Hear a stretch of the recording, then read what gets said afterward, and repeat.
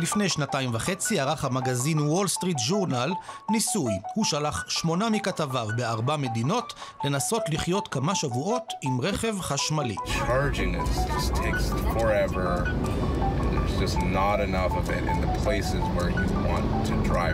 I've been sitting in this parking lot charging for three and a half hours. כמעט כל הנסיינים סבלו מאוד, בעיקר מכל עניין טעינת הרכבים. לא פעם מצאו את עצמם תקועים בדרכים מתוסכלים. They call it the chicken and egg problem, right? How are you going to have enough electric cars on the road if you can't charge them? Why should I put electric chargers up if there aren't so many electric cars on the road? מסקנת הניסוי הייתה ברורה, העולם עדיין לא מוכן למהפכה. והנה, שנתיים וחצי אחרי, תחום הרכבים החשמליים בשיאו. אבל בכל הקשור להליך הפעוט הזה שנקרא טעינה, אנחנו די תקועים.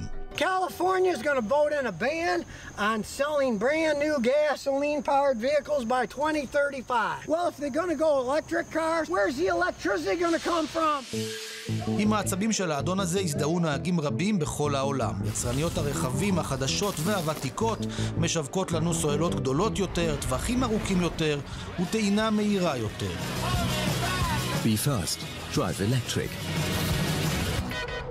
הכל טוב ויפה, רק צריך לזכור שהכלים האלה לא נוסעים על אוויר. מישהו צריך לדאוג שיהיה מספיק חשמל להניע את המהפכה. רכב חשמלי אחד, שאנחנו רוצים לטעון אותו תוך בסך הכל רבע שעה, צורך אנרגיה שאקוויוולנטית לצריכה של בניין רב קומות עם בערך 40 דירות.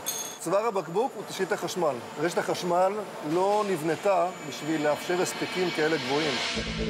בחברת זוז פאוור הישראלית זיהו מהר את האתגר ותקפו בדיוק את הבעיה הזאת.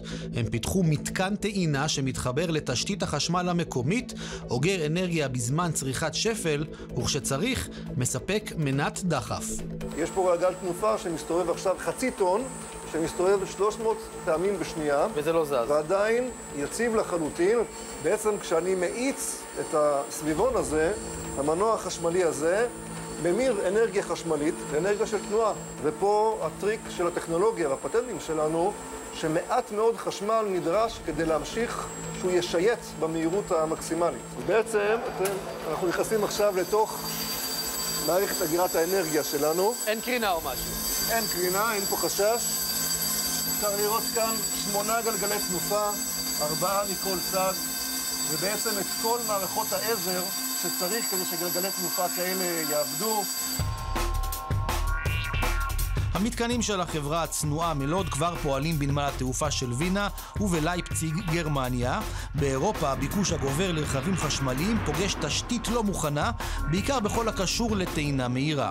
כשאתה מדבר עם יצרנים מתנים, שהם עכשיו מוצאים לך מתנים של 150, או עוד מעט גם 300 ו-450 קילוואט, שאנחנו דיברנו עם יצרן מטענים גדול מאוד, שהביא מטענים כבר לפני שנתיים מאוד מהירים, ושאלנו אותו, אוקיי, מצוין, מאיפה יגיע חשמל? לא בעיה שלי. בדרך כלל מערכת כזאת אחת מספיקה לטעינה מקבילה של שני רכבים, ומהר מאוד יודעת להיטען מחדש כדי לאפשר טעינה של רכבים נוספים.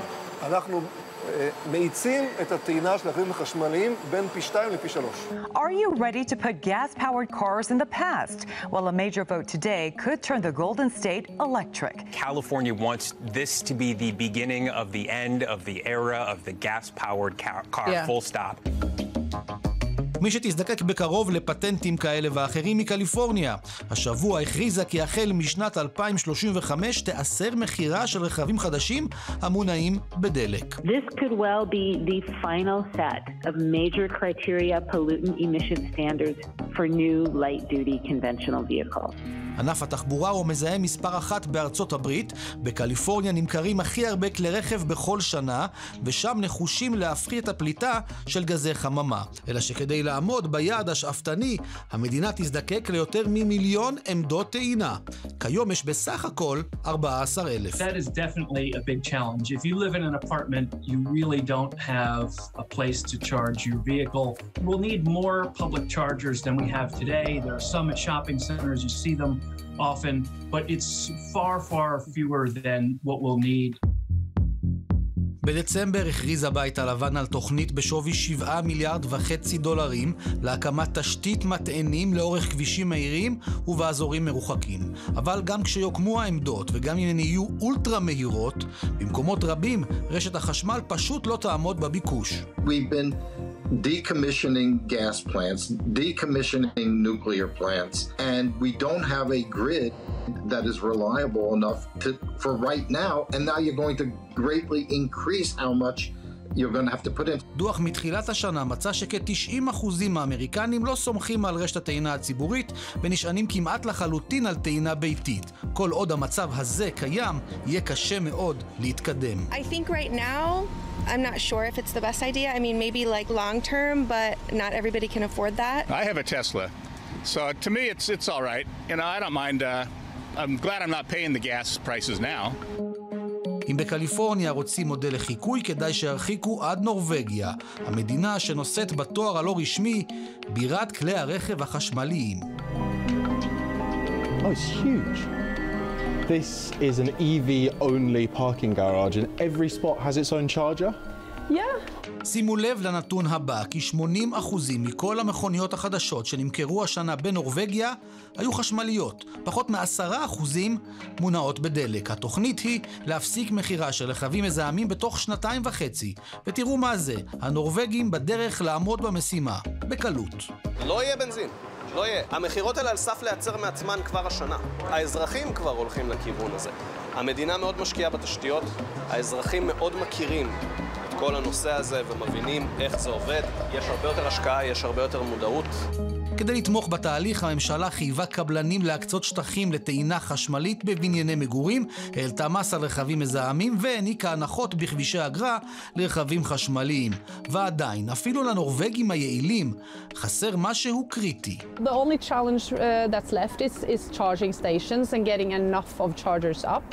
both where people live, but also uh, fast chargers so that people that go on, on longer trips have easy access to, to charging on the way. מה שמביא אותנו בחזרה לארץ הקודש.